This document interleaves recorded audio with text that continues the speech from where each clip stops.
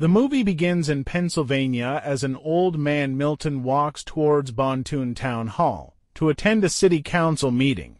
The council talks about the various projects within the community that have been accomplished, and those they are yet to start on. The meeting is now on the next part, which is to open public comments, and Milton is the first person to give a comment.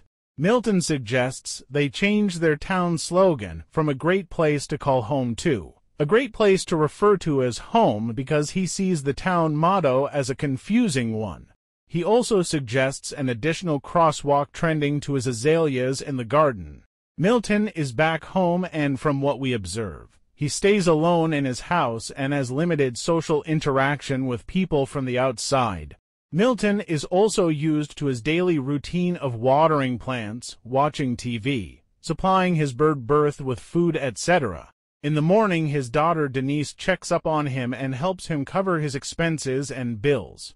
While in the toilet, Denise finds a can of beans and thinks Milton is starting to experience memory lapses and believes he needs a checkup, but Milton explains he must have been distracted by something else by the time he left the can there and doesn't need a checkup. Denise then leaves for work. As Milton stays watching TV, in the middle of the night, Milton hears a loud bang in his compound and goes out to inspect his backyard. He is astonished on seeing a UFO that has crashed in his garden. He then immediately calls 911 and tells them about the spaceship that has crashed in his backyard, and also crashing his azaleas. The operator thinks he is making a prank of some sort and warns him of potential fines. Milton hangs up. He also tries to call his daughter Denise, but only attends to a voicemail. Milton is up for another city council meeting and after another elderly village neighbor to Milton. Joyce speaks, it's time for Milton to speak. He reiterates the same issues as in the first meeting, that is to say, the issue of changing the town slogan, and also adding an additional crosswalk trending to his azaleas in the garden. At night, Milton again hears a clicking sound and wakes up to go and check. He finds an alien lying down. He again calls Denise but receives a voicemail, but this time just talks and says, Hi, Denise. I called you a few nights ago because a spaceship had crashed in my backyard. And now the spaceman has come out of the ship and is lying down and I'm scared. Once again, Milton is up for another city council meeting. After another elderly village neighbor to Milton, Sandy speaks, it's time for Milton to speak. Milton once again reiterates the same issues as in the previous meeting, that is to say, the issue of changing the town slogan and also adding an additional crosswalk, trending to his azaleas in the garden, but this time adds on. That also a UFO has crashed in his backyard, taking out his azaleas, plus also destroying his bird berth. One of the council superiors then asks back, Did you just say UFOs? As Milton replies, Yes. The council is really confused and thinks Milton is not in his right mind. After the council meeting, Joyce tells Milton to stop this nonsense about UFOs and spaceships, as she thinks all this is a joke. She says, the village councils may take all of them for granted if one speaks joking words like that, but Milton assures her all he said was true about the spaceship. Sandy approaches Milton also and expresses concern about his well-being. Sandy then kindly offers to provide him a ride back home. Sandy drops Milton off at his house and also assures him she will drive him to places whenever he needs it. Milton also does not show the spaceship to Sandy on reaching home. Once Sandy leaves, Milton decides to check on the UFO and notices the alien has crawled out and is now on his patio, lying face down and inching toward his house. The alien raises its head, makes eye contact with Milton, and promptly passes out. He gives the alien a blanket to cover its body and leaves a glass of water near its hand. When the alien wakes up the next morning, it still feels weak and it's shivering while sitting on the ground by the back staircase covered in a blanket. Milton asks him to come inside where it's warmer and more comfortable by making a wide sweeping motion with his arm. Milton adds him water. Milton offers different foods to discover what the alien prefers. Of all the food Milton offers, the alien prefers only one item, the sliced apple. The alien has eaten only one apple and is still weak. Milton tells the alien to rest on the couch and watch TV, since he has to head out for groceries and also get more apples. When Milton is at the store, he stocks 10 apples and tells the sales clerk that the apples are all for the alien. The sales clerk wonders if the alien Milton is referring to is an immigrant without papers. But Milton clarifies it's an alien from outer space who only eats apples. That evening, Milton sees the alien walking and responds, That's a good sign that you are walking. Milton then shows the alien around the house. That is to say, the bathroom, toilet, guest's bedroom, etc. He also teaches the alien how to change TV channels and also says he likes CSI programs a lot. He also showed him pictures of his family. They also watch the dance show on TV at 7 o'clock. Meanwhile, Denise visits the grocery store and is told by the sales clerk how her dad brought a bunch of apples from there and told him they are for an alien. Denise sees this as a strange behavior from his dad and thinks his dad might really be in a worse mental state. At this time, Denise is fed up so she visits her dad and makes him promise to go to a professional doctor to check his mental condition as his recent behavior concerns her. Milton responds that he will take some time to think about it. They talk for a while, and it's like as if Milton wants to tell Denise about the alien but later hesitates. Milton then asks if Denise received his voicemails and Denise responds no. Sandy calls Milton and wants to come to Milton's house to help her print some papers. Sandy then goes to Milton's house and almost passes out when she sees the alien sitting in the living room. Sandy asks Milton a bunch of questions as Milton explains to her about the alien, how he came and how long he has stayed in his house. Sandy later gets used to the situation and also warns Milton not to tell anyone any more about the alien as it may attract the government's attention. We are then taken to an underground government FBI facility. Meanwhile, Milton falls asleep on the sofa. When he wakes up in the morning, he notices the alien has covered him with a blanket. The alien also leaves Milton an artwork, a cartoon cat's face. He sees the alien in the backyard diligently repairing his spacecraft. Milton expresses his appreciation for the artwork.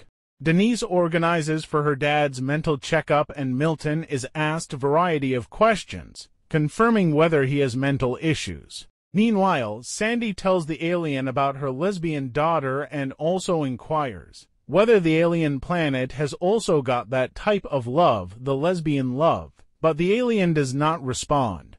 Milton is also asked about the words he said regarding an alien and a spaceship, and he denies. Everything saying it was a joke. Milton leaves the checkup meeting and goes back home. In the morning, Milton explains to the alien and says her daughter Denise thinks he is losing it and wants to put him in a home for the mentally unstable people. Milton also says he has not spoken to his son for many years and also confesses he has not always been a good dad to his son. Milton also calls his son Tim and confesses to him. He has not been a good dad all along, but wants Tim to forgive him. In the morning, Sandy dresses up the alien.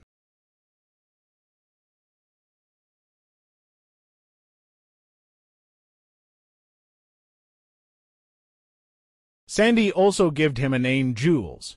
Joyce is watching news on TV when she listens to a news reporter saying, the government is seeking public help in search of parts of a satellite that they say fell out of the sky. Near the Pennsylvania and Ohio, the government will offer a reward of $10,000 to anyone with the information about the crashed apparatus. Joyce then remembers. Milton talked about some alien stuff and Joyce immediately goes to spy on Milton Joyce also sees the alien seated with Milton and Sandy on the dining table. Joyce goes to Milton's house joins them as Milton questions her on why she was spying on them. Joyce admires the alien's eyes and wants to touch them but Milton tells her not to. Milton and Sandy urge Joyce to keep the alien a secret. Milton shows them the artwork that the alien handed him, full of cat drawings. Joyce says she thinks it may be some sort of signal the alien is sending. The scene shifts to the underground government FBI facility. where multiple agents actively listen to phone conversations and follow up quickly on any references to spaceships or alien encounters. Officials then visit all the alleged houses for the corresponding spaceship and alien conversations, and check them to find any alien or any spaceship but to no avail. Joyce has brought some apples and a new shirt for the alien. Joyce also converses with the alien for a while. Meanwhile, Sandy has started up a program of the young conversing with the elderly, such as herself.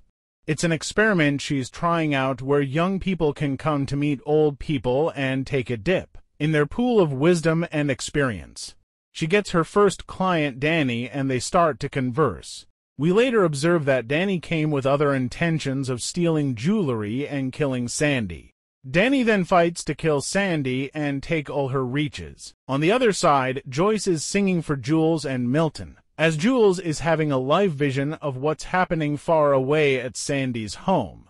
Jules observes that Sandy is in danger and is about to be killed by Danny. Jules then uses his powers to burst Danny's head from a distance and Danny dies. The police then asks Sandy on Danny's death who responds that his head just exploded out of nowhere. The police are curious about Danny's death and so the police starts to follow up Sandy everywhere. They believe she might have a connection with the alien. The following day, Sandy thanks Jules for what he did to save her life and also explains to her friends how the alien saved her from dying. Jules further repairs the spaceship. As the three are conversing, they then smell a dead cat, and when the house starts smelling, the three of them see a dead cat outside. They then realize that all along, Jules was sending to them a signal of getting him dead cats which will help him fix his spaceship. And from the photo, Jules needed seven dead cats and after he has killed one, he needs six more dead cats. The hunt for dead cats begins. Milton first tries on calling her daughter Denise. The fact that Denise is a veterinary doctor, Milton expects her to give them some dead cats but she does not correspond. Milton and Sandy go looking for dead cats on the streets. While they're patrolled by a police car, the police have suspicions that Sandy has had contact with the alien. They manage to get some dead cats and, as they put them into their vehicle, a female policewoman spying on them says, what the fuck. They then end up getting only two cats. They're still remaining with four cats for Jules's spaceship to start working. Joyce also says she can toil around and find other cats. Joyce successfully finds three dead cats and they are only remaining with one cat to finish the job. Meanwhile, the scene again shifts to the underground government FBI facility and this time they are listening to Denise's calls talking about his father with aliens. The FBI agents then go to Milton's house direct and knock on the door but fortunately they are called for other work before they enter, as Jules has also escaped to his spaceship. They then plan on the last remaining cat for Jules's spaceship to work. Joyce has a cat of her own, Henry, that is old, blind, and deaf. At first, Milton suggests they kill Joyce's cat, but she refuses the idea, but later, she realizes it would be best for the cat. Jules finally gets all the seven cats and heads to the spaceship. It's time for the magic to happen. All the seven cats are brought and Jules covers them with a silver sequin fabric that turns them into one fuel capsule. The fuel capsule turns on the spaceship and it's ready to leave. As the spaceship lights up an alarm in the underground government FBI facility is triggered, and FBI agents are then told to rush to the place and inspect. On saying goodbye to Jules, Joyce gives Jules a snow globe as a gift. Sandy also has a gift for Jules, which is a sweater. Milton also offers to Jules his identity card. Jules is about to leave, but he offers them a place on the spaceship. Milton decides he's going to go with Jules, because he doesn't want his daughter to see him get worse and worse every year. He then receives a call as Denise wants to come see him and not for the mental stuff but this time to stay with him as a normal dad for some time. As he is still on phone, the FBI agents arrive and they all have to run with Jules.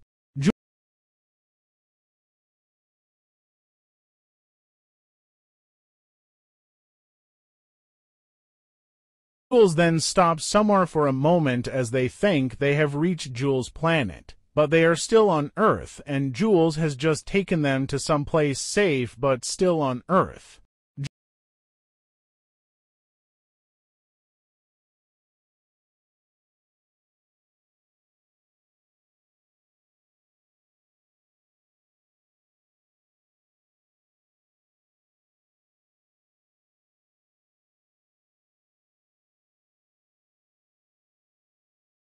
Jules watches the three friends from a window in his spaceship as he proceeds to his home.